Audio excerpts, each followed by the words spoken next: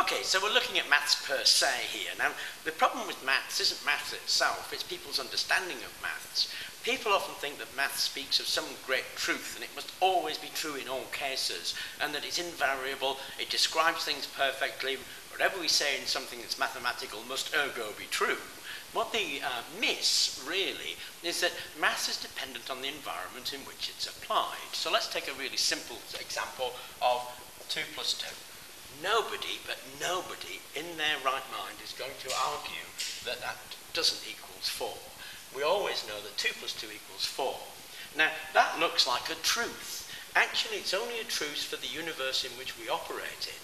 Let's change that a little bit and make a slightly different universe. Let's say we have a graduated cylinder and we divide that cylinder up into four equal divisions. That's now our universe.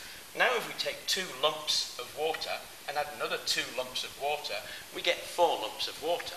That makes sense to us because that agrees with our universe conception of what this uh, little addition makes. But let's change this universe.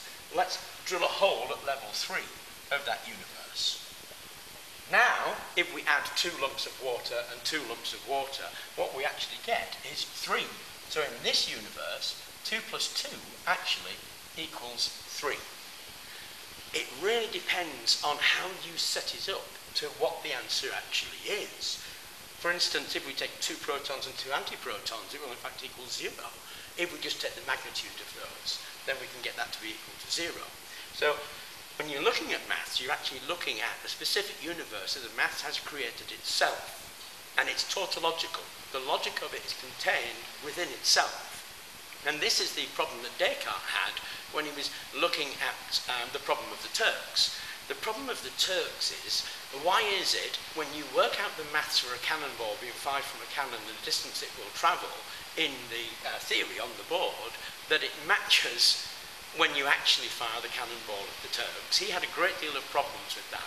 But the reason it matches, obviously, is that his mathematics was constructed in his universe. So because the rules are constructed that way, the mathematics must apply that way. If we construct the rules differently, the mathematics changes. Anyway, I thought that was interesting, so I hope that you did too.